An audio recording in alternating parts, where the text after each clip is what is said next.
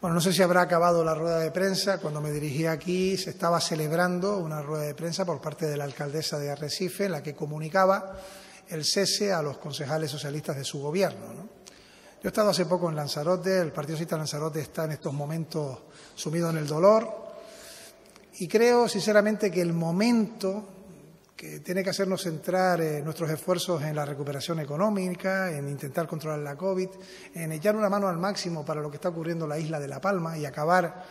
eh, con este volcán eh, y empezar todo lo que significa volver a, lo que antes era la isla, no está para inestabilidades políticas. Solo tendrá que explicar la alcaldesa,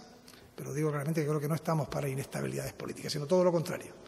Estamos para estar unidos, para buscar soluciones a los problemas He estado también en contacto, lógicamente, con la secretaria insular y presidenta del Cabildo de Lanzarote y lo que puedo anunciar es que va a comparecer en el día de hoy y anunciará las medidas oportunas ante una situación que ha sido generada